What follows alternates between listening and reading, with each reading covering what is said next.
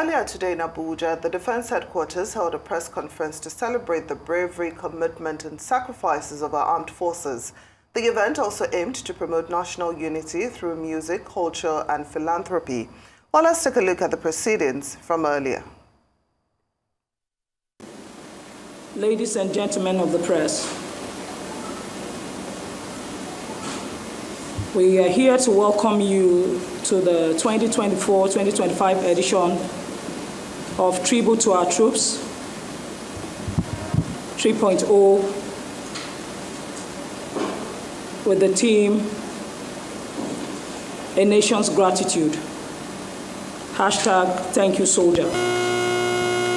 Ladies and gentlemen of the press, as we prepare for another impactful edition of Tribute to Our Troops, I want to express my profound gratitude for all your unwavering partnership and support over the years.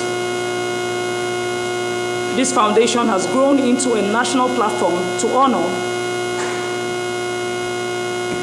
of honor rather, unity and remembrance because of the vital role you play in amplifying the voices of our heroes present, our fallen heroes, and in bridging the gap between the military and the civilian communities. Your coverage, stories, and dedication to sharing the sacrifices of our armed forces have helped us foster a deeper understanding and appreciation for their contributions to our peace and security and the protection of the territorial integrity of our dear motherland. You are not just storytellers, you are vital partners in strengthening the civil-military relationship of the armed forces and the core objective of tribute to our troops. This year, the TTOT Foundation is set to inspire and engage Nigerians through new and exciting futures. We have, uh, we, we have introduced the Wall of Fame, where we'll be celebrating our fallen heroes. We give Nigerians that opportunity to show love, respect, and honor to those who truly deserve to be honored and recognized in our dear country. We all know recently our beloved Chief of Army Staff, former Chief of Army Staff, the late Lieutenant General Taoreed Lagbaja, a national hero whom those of us attribute to our troops, had dubbed, had dubbed um, our angel in Kamo. My fellow Nigerians, these great men and women have sacrificed their all to have us to where we are today. For us, our tribute to our troops, we believe it is more honorable for us to give our armed forces the love, respect, and honor due to each sacrifice they make. As such, that wall of remembrance is to remember the likes of our brother Lieutenant Co uh, Commodore Gideon Gwaza of the Nigerian Navy, who also passed, saving 59 civilians in Bonny Camp, River State. It amazes me how these wonderful sacrifices are not really made a core, uh, made, uh, made hypes about as it deserves or as it should be. So we attribute to our troops, uh, set up this wall of fame, mainly for this purpose. purposes where families, the entire community, and Nigerians are encouraged to come out to support our armed forces and show them the respect they deserve. We have also introduced what we call the TTOT show, an exclusive conversation where civilians and the military communities would engage and discuss on better ways on how to enhance uh, the civil-military relationship. We, we need your voices now more than ever to highlight these initiatives and encourage Nigerians to embrace patriotism. Through your various platforms, you can inspire unity, pride, and a renewed commitment to celebrating those who stand as guardians of our freedom and protectors of our territorial integrity.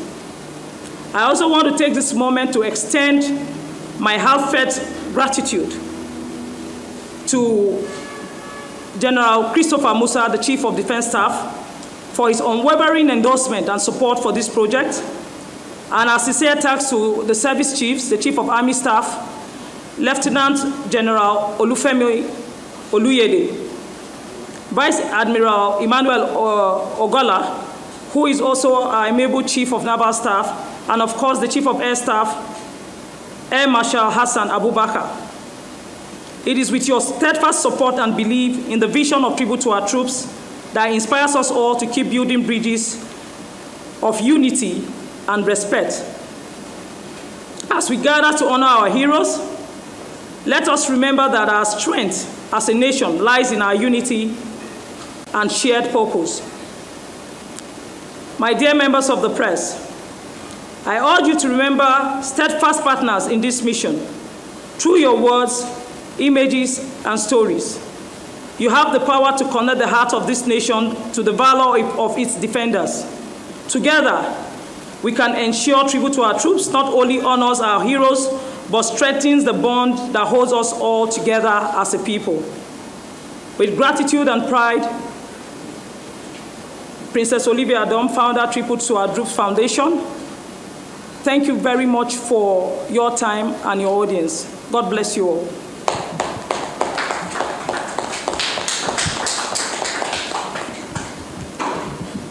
ladies and gentlemen of the press, um, I'm Air Vice Marshal Anthony Ekpe. I'm standing in on behalf of the Chief of Defense Staff, and uh, I will just quickly make some statements about what his mindset and what he feels about this event that we are going to start in a few days' time. And uh, it is with great pleasure that um, the Defense Headquarters is collaborating with the Tribute to Our Troops Foundation to present the third edition of this event tagged A Nation's Gratitude. I must say that this initiative is a testament to the commitment of the armed forces of Nigeria in fostering unity, showcasing resilience, and celebrating the valor of our servicemen and women who dedicate their lives to safeguarding our nation. Tribute to our Troop 3.0 edition is not just an event. It is a movement that combines the power of music, culture, philanthropy to honor the selfless sacrifices and bravery of the armed men and women of the armed forces of Nigeria. While it offers a unique platform to connect the military with the civilian population, emphasizing the importance of mutual understanding and collaboration for the progress of our great nation. As we carry out this event, the collaborative part of it ensures that both the military men serving, retired, and even our civilian counterparts within our areas of jurisdiction are all invited to participate in this event. This year's edition is proudly endorsed by the Chief of Defense Staff himself, General C.G. Musa, OFR, and is supported by the Nigerian Army Headquarters, Naval Headquarters, and the Nigerian Air Force. And this reflects the enduring spirit of teamwork within our armed forces. It also highlights the cultural richness and unity that defines us as Nigerians, serving as a beacon of hope and patriotism. We are confident that this third edition of Tribute to Our Troop will inspire a deeper sense of national pride and solidarity among Nigerians. We urge you, gentlemen of the press, our esteemed partners in nation building, to amplify this message of appreciation of our troops and their roles in ensuring peace and stability of our nation.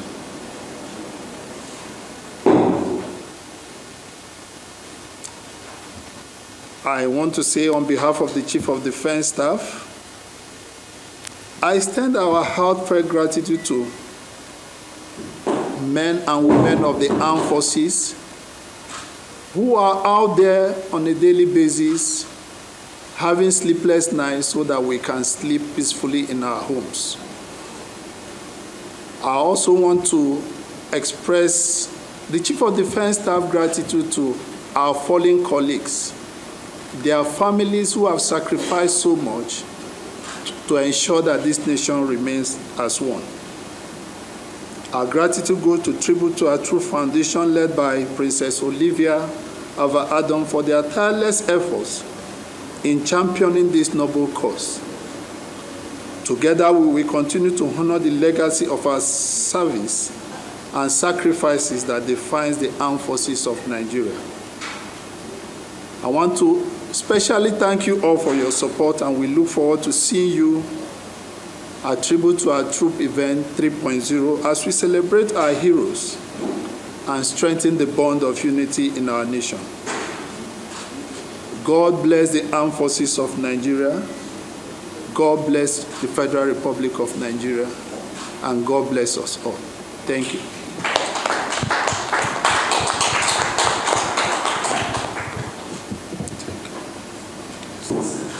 Is there any welfare department in the Ministry of Defense? What are the process there? And email is there online because each day you will become embarrassed. They keep on asking you and asking you what's going on there. No, you are not going to. I think that's not your question. Okay, um, thank you very much for your question. If I get your question correctly, you want to know whether there is any uh, package for widows that are in the barracks. Welfare, okay, but you mentioned Ministry of Defense. I cannot talk on behalf of Ministry of Defense, but I can talk on behalf of the armed forces of Nigeria. To the best of my knowledge, we have various schemes. The military, as you know, is a well-organized institution. Though, unfortunately, we lost some of our colleagues to operational reasons, but there are a lot of packages, you know, that are organized to ensure that the families they left behind don't suffer. We have scheme for their children to go to school, and uh, despite the fact that they were paid what their husbands are supposed, what they are supposed to be paid on the death of their, you know, breadwinners. Those ones are paid to them. And additionally, from time to time, welfare packages are given to them. For example, now Christmas is coming. Any moment from now, we are already in the season. The services ensure that they reach out to those widows that were left behind by our fallen colleagues, fallen heroes. And like I said earlier on, there are scholarship schemes meant for their children. All the three services pay scholarships to the children of the deceased uh, service, I mean, personnel that paid the school price. Thank you. I hope I have answered your question. Okay, let me just. Uh, Okay, add something. Yeah, in addition to that, you know, the thing, like he has pointed out, there are entitlements due to their husband that are paid to the widows. And the children, they are, their school fees are paid up to university level. You know, it's a process, this is there. I know most of them that are facilitated to sign their forms, and they are paid, their school fees are paid up to university level. So it's not as if we just leave them there to cater for themselves. And we have organizations like in defense, we have the POA, Defense and Police Officers Wife Association, we have NAFOA, we have NOAA, we have NAOA. So these organizations are headed by the service chiefs' wives. These are, uh, in fact, the POA in Abuja here has training institutions, skill acquisition centers, where they train these widows and orphans in the barracks. So they are not people we just live like that. Is there, in fact, my department is organizing an outreach program in, organ- in a collaboration with DEPOA to reach out to these widows. And even some of the, uh, you know, the incomes that might be generated from this program, we are also having. It is going to be used to cater for the need of the widows. So um, the thing is that when you hear such complaint and you are bringing it to us, please, we have departments in the, the admin is there that caters for this. And if they feel that, okay, the offices are too tough for them to, this our Officers' Wives Association, they can walk into either NAFOA, NOAA, the POA office and go there and learn their complaints. These are headed by women like them. And then there is no way these our wives we ignore them. But there are schemes for them. That's all? No, I think uh, he was on the on the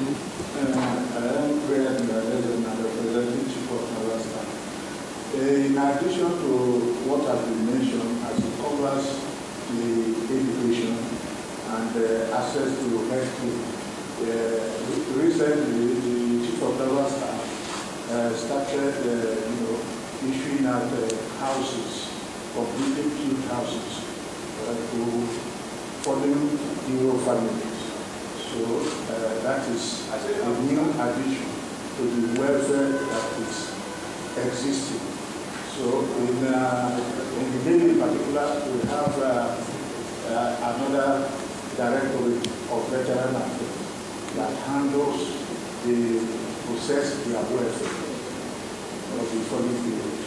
So that is just in addition to uh, a whole lot of the welfare packages that are there for the for the Thank you.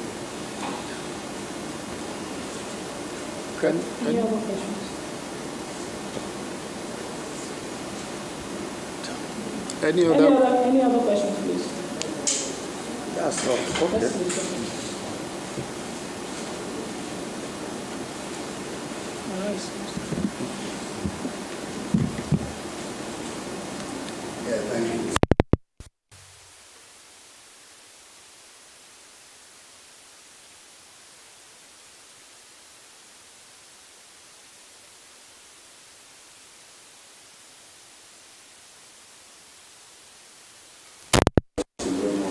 not quite, quite some of them, you know, uh, suffer deaths, you know, not, uh, so how do you get to keep them motivated to keep on defending the country and carrying out their responsibilities? You want to take that? Okay. Um, I will start by telling you that um, when troops are deployed for operation, especially the one we are engaged in all over the country, there are special allowances that are paid to them. So it's not as if, uh, apart from their normal salaries, there are special allowances that are paid to them. And then coupled with that, uh, you can see that uh, most times the chief of defense staff, the service chiefs, they are all out there in the field, reaching out to the troops. Uh, from what we can see, the chief of defense staff himself had been in the theater before now, before he assumed his present appointment. So he's, uh, he has first-hand knowledge of what is going out there. And most times he's out there in the, with the troops, motivating them, speaking to them, giving them new directives, new ideas on how to go about their operations. And then we also have some special, like the program we are having now, tribute to our troops. We motivate them with this because we go out there during festive occasions like this or periods like this. We reach out to them. We show them gratitude. We make them understand that, look, you are fighting for the nation. And then we also recognize the fact that you are fighting for the nation. And then uh, one thing you also need to understand is that every soldier, every rating, every airman whom you see wearing this uniform volunteered to come and serve the nation. It's not as if uh, it's not a conscriptory service that you go and force people into. They volunteered. So sometimes when you see them, they are doing this in order to keep. In fact, that self motivation is already in them before they came into this service.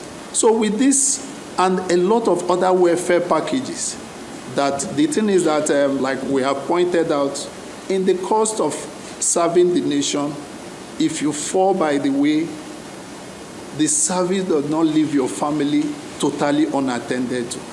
So, with these uh, incentives here and there, we motivate the troops into continue fighting. And that is why you will see that, unlike in some nations where you will see mass exodus of troops, our troops are still one of the best in the sub-region. When we go to operations in Liberia, Sierra Leone, and all that, once Nigerian troops appear, you will see that uh, whoever the rebel is, they will take cover. Thank you. Okay. Okay, so. Um, in addition to what AVM Ekwe said, one of the leadership concepts of the Chief of Defense Staff, General C.G. Musa, is prioritizing troops' welfare, uh, particularly those that are in the operational area. We have special promotion for them where they do very well. They are given special promotion, and also they are entitled to additional incentives while in the field. This is what you know distinguish those in the field and those that are not in the field. There are additional allowances, operational allowances that are given to them. As you, as AVM said, the CDS spent 19 months as theater commander in the field. So when it comes to troop welfare, motivation, and other things, he's very, very much interested. He's always talking about troops in the field. What do we do to ensure we make them comfortable, we raise their morale? All these things are under uh, special concentration for troops in the field. And they are being done to charge their, you know, to, to, to, to, to arouse their morale, you know, so that they will put in their best in the service of their fatherland. Thank you. So I would like to add a little to what um, Brigadier General So has said. Recently, as a civilian, I was privileged to visit the members of uh, the armed forces. Um, first, it was in 2022, and recently at uh, 44 Reference Hospital. We had the privilege of talking to some of our wounded soldiers, visiting them, asking them about, uh, I mean, without uh, being uh, supervised, uh, if, if you like, by the members of the armed forces. We went in there, asked questions, uh, to get first-hand information directly from the wounded soldiers. And they told us first-hand that they never had this better. Um, the blind, some of our blind soldiers have been, that recently were affected uh, by the operational injuries they incurred in the Northeast, are presently receiving uh, therapeutic, um, uh, receiving therapy rather at, uh, at JOS, uh, I think, School for the Blind in Jos. And they said for the first time they are no longer depressed. I mean, some of those clips will be played during the course of uh, the events for Nigerians to see. Now, the military has done its part. What we are concerned about mostly is how we as citizens tend to treat our armed forces. We know firsthand that we also underappreciate these great men and women who have also given their all for us. I mean, it's one thing for, for each and every one of us in this room. We can easily get up and say today, whatever jobs we are doing, we are no longer interested, we can leave. But these people have given up their freedom, uh, voluntarily, yes, but it should be, uh, we should all recognize the fact that they've given up their freedom, the comfort of their homes, their wives, their children are always at the receiving end. And at the end of the day, the people they have sworn to protect tend not to treat them the way they truly deserve. So, in as much as the military is doing theirs, we at Tribute to Our Troops are also here to encourage Nigerians to please consider giving it another thought. Consider the fact that no matter the lapses, no matter the little mistakes here and there, that I mean, every sector, every every career path has its own little hitches here and there. But we should also try as much as possible to give honor to whom honor is due, to show love and support to these people.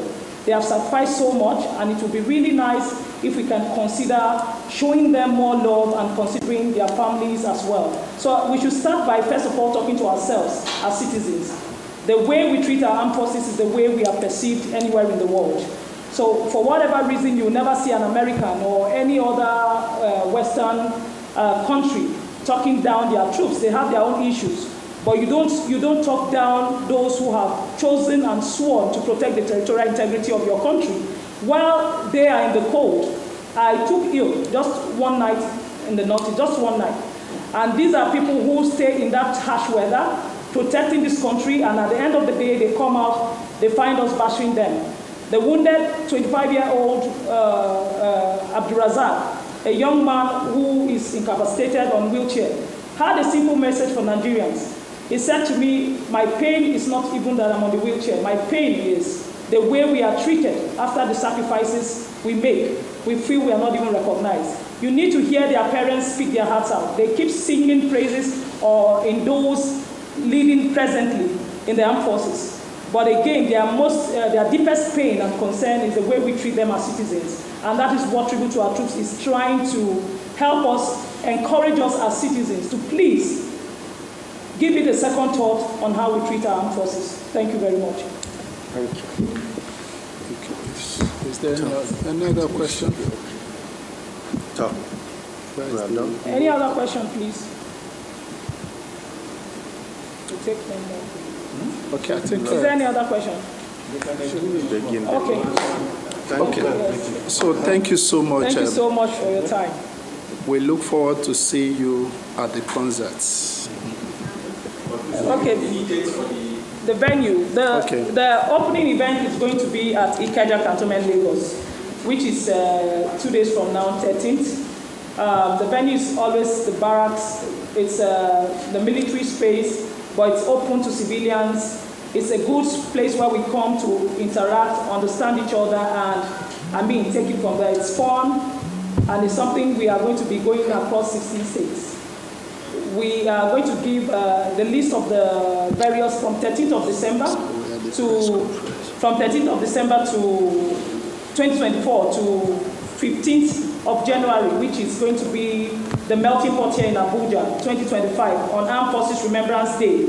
We'll be giving every Nigerian the opportunity to come out and show the Armed Forces love. Hence the hashtag, thank you soldier. So henceforth, anywhere you go and you see any man in uniform, just consider showing them love first. Just say thank you soldier. And you see how well they will appreciate you. Thank you very much.